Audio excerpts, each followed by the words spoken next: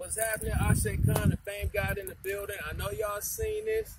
That's Hood Chicks, the movie. We just showed it at Bel Air on the east side. We about to show it on the west side. Everything is going dope with this. When it went through about 600 copies of this already. Now we we taking this and I'm giving it to the bootleggers. It's already hitting the uh, uh, uh people. It's going household. It's about to be a household name. The people on the front of this and the people in this movie about to be famous. Now I got another movie coming out called Saturday.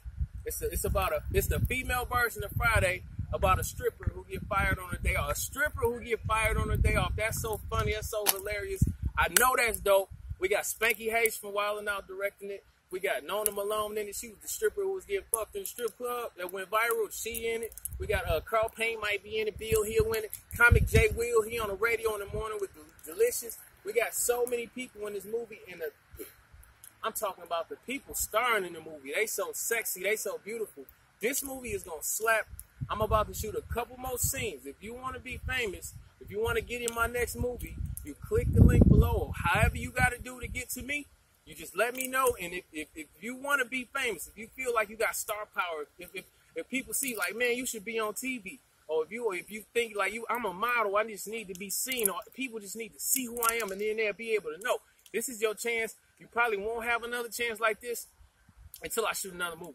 Anyway, I'm out of here. I Ashe Khan in the building. Yeah. Mm.